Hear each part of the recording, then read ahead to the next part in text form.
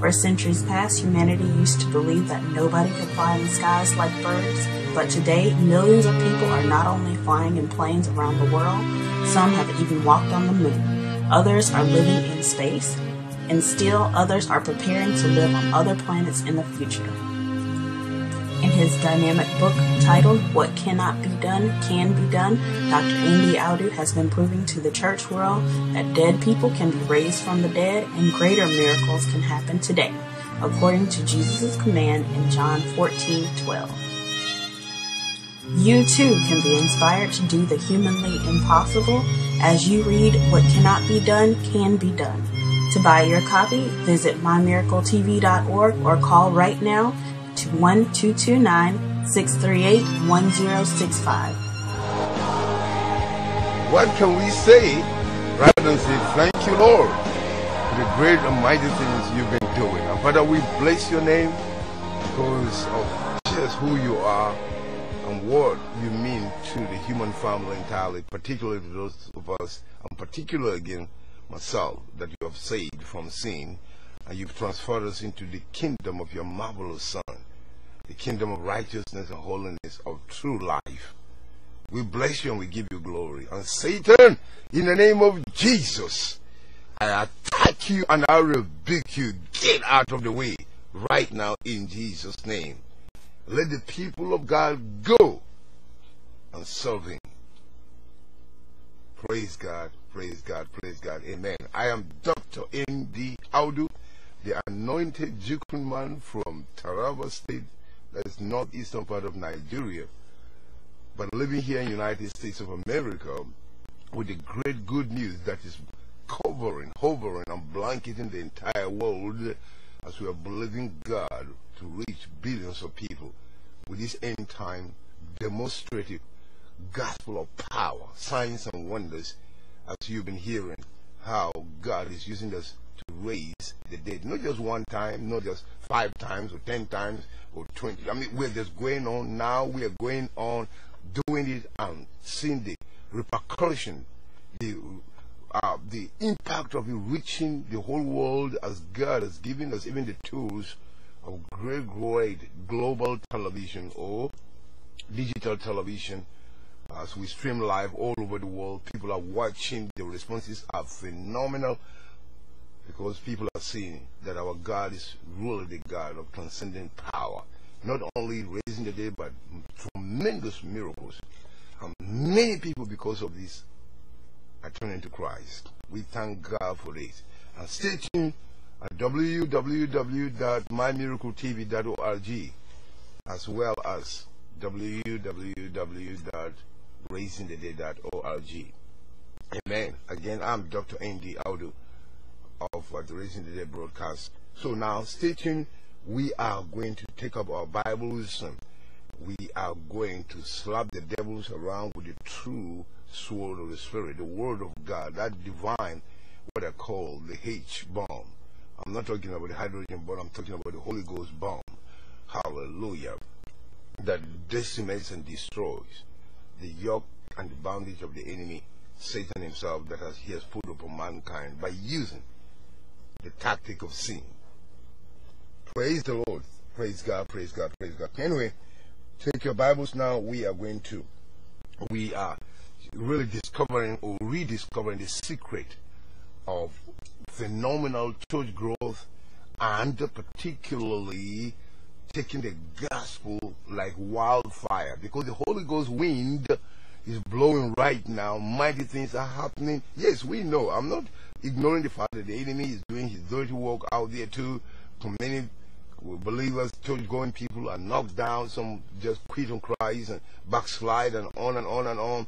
But thank God too for those who are repenting and getting back on their feet again. And there's some who got knocked down and are still laying down there. They quit on God.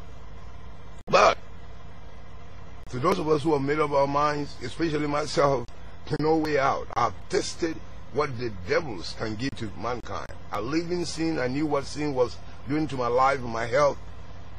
But now that I've tasted the goodness of God and I've made up my mind, I'm going to, to go all the way out with Jesus. I don't care what the devil does here and there to stop me, he will not. because I am in the strong, the strongest hands in the whole universe, in the hand, strong hands of God Almighty Himself. You too, as my brother and my sister, as you depend upon God, He will not let you down. Hallelujah!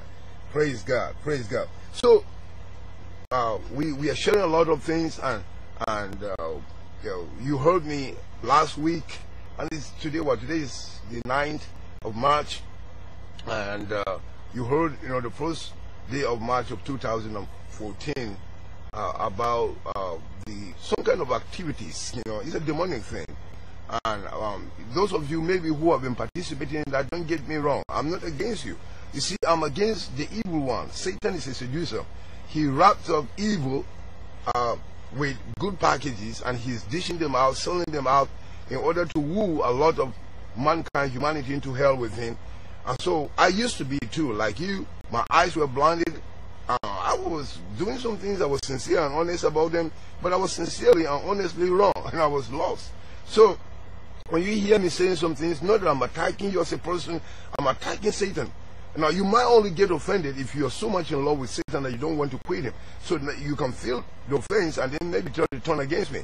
But I'm not against you. you know, I'm against Satan and his sinister demonic kingdom uh, that is out there to antagonize or oppose the advancement of the kingdom of God and the purpose of God here on earth. So, some of us are bold. I mean, we vote we have sold, we have bought the lies of Satan about certain festivities. For example, uh, can, uh, uh, like uh, um, Mardi Gras and uh, Halloween and all kinds of devilish activities that have crept into the church right now. And never have I seen such kind of behavior, even when I was in Europe, you know, like what I'm seeing here in America, because a lot of us preachers, we have uh, said, okay, now we will let's take this kind of belief system, bring it to Christianity and polish it and dust it off, and then put Jesus Christ's name on it and sell it. For example, the Christian yoga, you know, and the martial arts, and on and on and on. We have seen some of the Oriental demonic practices, some of the African demonic practices, some of the Indian demonic practices have been incorporated into Christianity now, and we wrap them up and we're selling them out just by slapping some Bible verses around and, and covering that with the name of Jesus or Christianity simply because we want to make money out of it. Or we think about so doing we're going to win more people. It's not going to work. Rather, it's going to weaken us more and more and more and more and more. So, God is reviving His people. And I'm one of them. I am so much on fire about Jesus. And the more the devils are raging and attacking me, coming against me, the more I laugh at them, laugh them off. Hallelujah. I use the Holy Ghost laughter here, laugh them off. And I challenge them off. Um, as you know, I keep on saying that this should be the lifestyle of every Christian. We don't need to wait until the devils attack us, then we respond or we react. That is a waste of time. You go on the offensive, go on the attack. Attack first. And I am in that mood right now for 35, 36 years. I am constantly attacking the devil, going after him, hunting him down with his demons. And this is why now we're doing all over the state of Georgia as we're traveling. I am tired of sitting in the church building, you know, begging people to come. I have been doing it year after year since my conversion. I just love carrying Jesus to the devil's territory, hunt them down, hunt those devils down, and liberate people by the power of the gospel of Jesus Christ. So last week we had that Mardi Gras feast here in this city, and it's not new. They've been doing it for almost 12 years uh, while I was still living in Florida. So when I came into the city of Albany, Georgia, they incorporated that. They, they, they, I sort of imported it from Louisiana, from New Orleans, uh, Louisiana, and brought it here into the city of Albany, and they're practicing it, and people are going there. Women are almost walking naked, and you know people get drunk and they misbehave and do all kinds of. And some Christians go there and put their stand just to make money. They sell their products, thinking, you know, to a sort of raise up the economy of the community. But what good is it? If you raise up the economy, but spiritually we're dead and we're bringing more trouble upon ourselves, suddenly, of course, we start seeing the curses now pulling us down, down, down, down, down. So, for nearly five years now that I've been living in this city, and I was saying enough is enough. Somebody has to stir, you know, stir up things too. Not to go there with uh, uh, some kind of revolting attitude or marching on the street and uh, you know, chanting this. No, I don't do that. I, I don't do that. There's a better way I do it. I just go there with the light of the gospel and shine it forth in the midst of the darkness. Then demonstrate the power of God. And this is exactly what we did with my team last week. We were there in the Mardi Gras, but we went with Jesus. And I believe that this is end of this Mardi Gras.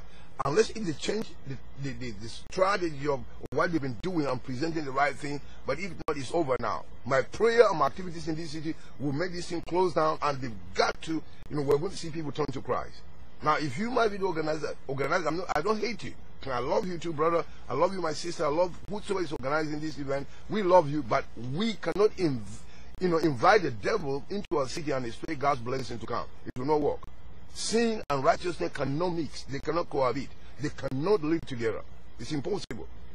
Amen. For over 30 years in nearly 40 nations around the world, God has been using Dr. N.D. Audu mightily, according to John 14:12, to raise many physically dead and dying people, heal the sick, operate many special miracles, as well as winning many sinners to Christ.